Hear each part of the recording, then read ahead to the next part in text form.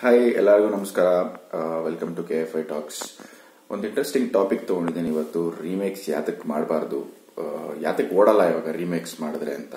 So thanks to one of my subscribers ಅವರೇ ಈ topic recommend ಮಾಡಿದ್ದು.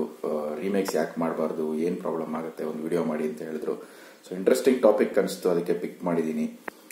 ಸೊ ಕನ್ನಡದಲ್ಲಿ ಸ್ಪೆಷಲಿ ರೀಮೇಕ್ಸ್ ತುಂಬಾನೇ ಜಾಸ್ತಿ. ಬೇರೆ ಲ್ಯಾಂಗ್ವೇಜಸ್ ಕಂಪೇರ್ ಮಾಡಿದ್ರೆ.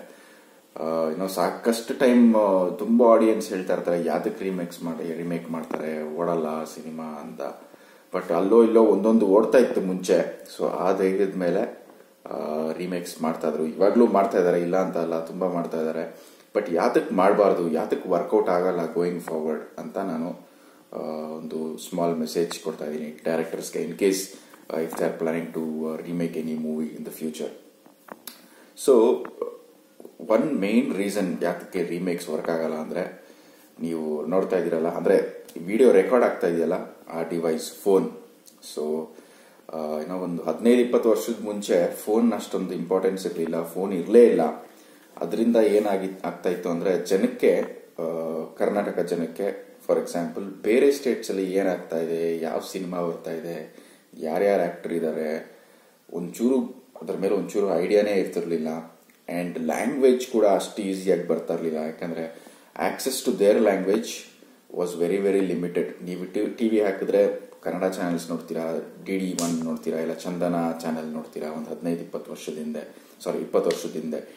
ಸೊ ಅಲ್ಲಿ ಪ್ರಾಮಿನೆನ್ಸ್ ಇದ್ದಿದ್ದು ಕರ್ನಾಟಕದಲ್ಲಿ ಮೇನ್ಲಿ ಕನ್ನಡ ಲ್ಯಾಂಗ್ವೇಜ್ಗೆ ಸಿಮಿಲರ್ಲಿ ತಮಿಳಲ್ಲಿ ಕೂಡ, ತಮಿಳ್ನಾಡಲ್ಲಿ ಕೂಡ ತಮಿಳ್ ಲ್ಯಾಂಗ್ವೇಜ್ ಇರುತ್ತೆ.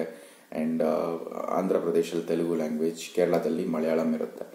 ಸೊ ಬರ್ತಾ ಬರ್ತಾ ಬರ್ತಾ ಏನಾಗ್ತಿದ್ಯಪ್ಪ ಅಂದ್ರೆ the whole world has become so small so ನೀವು ಯು ಎಸ್ ಅಲ್ಲಿ ನಡೀತಿರೋ ವಿಷಯನ ಮನೇಲೆ ಕುತ್ಕೊಂಡು ಫೋನಲ್ಲಿ ನೋಡ್ಬೋದು. ಎಲ್ಲಿ ಪ್ರಪಂಚದ ಯಾವುದೇ ಮೂಲೆಯಲ್ಲಿ ಏನು ನಡೆದಿದ್ರು ನಡೀತಿದ್ರು ನೀವು ಮನೇಲಿ ಕುತ್ಕೊಂಡು ನೋಡ್ಬೋದು.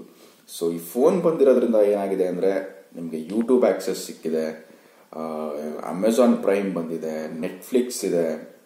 ಸೊ ಈ ತರ ಕಂಟೆಂಟ್ ನಮಗೆ ಈಸಿಯಾಗಿ ಸಿಗೋದ್ರಿಂದ ನಮಗೆ ಬೇರೆ ಲ್ಯಾಂಗ್ವೇಜ್ ಮೂವೀಸು ತುಂಬ ಈಸಿಯಾಗಿ ನೋಡ್ಬೋದು. ಫಾರ್ ಎಕ್ಸಾಂಪಲ್ ಯೂಟ್ಯೂಬಲ್ಲಿ ನಿಮ್ಗೆ ಏನಾದರೂ ಒಂದು ಏನೋ ಹೊಸ ಫಿಲಮ್ ರಿಲೀಸ್ ಆಗ್ತಾ ಇದ್ರೆ ತಮಿಳ್ನಾಡು ಅಥವಾ ಆಂಧ್ರನಲ್ಲಿ ಇಮಿಡಿಯೇಟ್ಲಿ ನಿಮ್ಗೆ ಅಪ್ಡೇಟ್ಸ್ ಬರುತ್ತೆ ಯೂಟ್ಯೂಬಲ್ಲಿ ಅದ್ರ ವೀಡಿಯೋಸ್ ಅದ್ರ ರಿಲೇಟೆಡ್ ವೀಡಿಯೋಸ್ ಇರುತ್ತೆ. ಟಕ್ ಅಂತ ಒಂದೇ ಕ್ಲಿಕ್ ಮಾಡಿ ನೀವು ವಿಷಯನ ತಿಳ್ಕೊಳ್ಬೋದು. ಆ್ಯಂಡ್ ಸಿನಿಮಾ ನೋಡೋದು ತುಂಬ ಈಸಿ ಬೇರೆ ಲ್ಯಾಂಗ್ವೇಜಸ್ ಸಿನಿಮಾ ನೋಡೋದು. ನೀವು ಥಿಯೇಟರ್ಗೆ ಹೋಗಿ ನೋಡಬೇಕು ಅಂತ ಏನಿಲ್ಲ. ಸೊ ರಿಲೀಸ್ ಆಗಿದ್ದು ಒಂದೂವರೆ ತಿಂಗಳಿಗೆ, ಎರಡು ತಿಂಗಳಿಗೆನೆ ನಿಮಗೆ ಅಮೆಝಾನ್ ಪ್ರೈಮ್ ಮತ್ತು ನೆಟ್ಫ್ಲಿಕ್ಸ್ ಅಲ್ಲಿ ಬಂದ್ಬಿಡತ್ತೆ.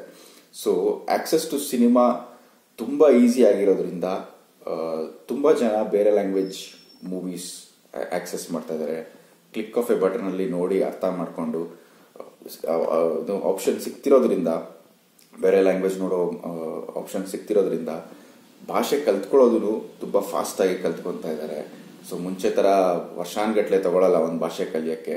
ಎಸ್ಪೆಷಲಿ ನಾವು ಬೆಂಗಳೂರಲ್ಲಿರೋರು ಹಾರ್ಡ್ಲಿ ಹತ್ತು ಟೆನ್ ಟು ಫಿಫ್ಟೀನ್ ಡೇಸಲ್ಲಿ ನಾವು ಬೇರೆ ಬೇರೆ ಲ್ಯಾಂಗ್ವೇಜಸ್ನ ಕಲ್ತು ಬಿಡ್ತೀವಿ ಸೊ ಈ ತರ ಆಕ್ಸೆಸ್ ಸಿಗೋದ್ರಿಂದ ಕಂಟೆಂಟ್ ನಮಗೆ all over the world create ಮಾಡ್ತಿರೋ ಕಂಟೆಂಟ್ ಎಸ್ಪೆಷಲಿ ಮೂವೀಸ್ ಈಸಿಯಾಗಿ ನೋಡೋ ಆಪ್ಷನ್ ಸಿಗುತ್ತೆ. ಸೊ ಈ ತರ ಆಪ್ಷನ್ ಸಿಗೋವಾಗ ರೀಮೇಕ್ ಮಾಡಿ, ತಿರ್ಗಾ ಥಿಯೇಟರ್ ರಿಲೀಸ್ ಮಾಡಿ ನೋಡ್ತಾರೆ ಅಂತ ಅನ್ಕೊಂಡ್ರೆ ಡೈರೆಕ್ಟರ್ಸ್ ಜನ ನೋಡ್ತಾರೆ ಅಂತ ಅನ್ಕೊಂಡ್ರೆ ಅವ್ರಿಗಿಂತ ಮೂರ್ಖರು ಯಾರು ಇಲ್ಲ. ಸೊ ದಯವಿಟ್ಟು ರೀಮೇಕ್ಸ್ ಮಾಡಬೇಡಿ ವರ್ಕೌಟ್ ಆಗಲ್ಲ. ಮುಂಚೆ ವರ್ಕೌಟ್ ಆಗಿತ್ತು, ಇಲ್ಲ ಅಂತಲ್ಲ. ಇವಾಗ ಖಂಡಿತವಾಗ್ಲೂ ಆಗಲ್ಲ. ಸೊ ಇವಾಗ ಸ್ಕೋಪ್ ಇರೋದು ನಿಮ್ಮ ಓನ್ ಕ್ರಿಯೇಟಿವಿಟಿಗೆ ನಿಮ್ಮ own ಇನ್ನೋವೇಷನ್ಗೆ so try to no create something new out of the box ಹಳೆ ಕಾಲದ ಸ್ಟೋರಿಗಳನ್ನೆಲ್ಲ ಮಾಡ್ಕೊಂಡಿದ್ರೆ ಯಾರು ನೋಡಲ್ಲ. So this is the message hopefully ನಿಮ್ಗೆ ಇಷ್ಟ ಆಯಿತು ಅಂತ ಅನಿಸುತ್ತೆ. ಇಷ್ಟ ಆಗಿದ್ರೆ K F I talks like ಮಾಡಿ. ಸಬ್ಸ್ಕ್ರೈಬ್ ಮಾಡ್ಕೊಳ್ಳಿ ಆ್ಯಂಡ್ ವಿಡಿಯೋನ ಶೇರ್ ಮಾಡಿ okay thanks take care bye